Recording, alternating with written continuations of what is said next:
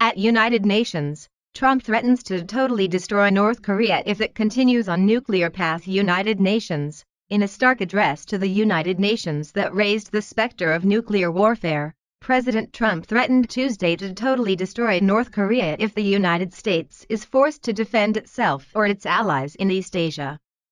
Rocket Man is on a suicide mission for himself and for his regime, Trump told the 193-member UN General Assembly, using a mocking nickname for North Korea's leader Kim Jong-un denouncing Pyongyang's reckless pursuit of nuclear weapons and ballistic missiles. Trump warned he would be prepared to take military action.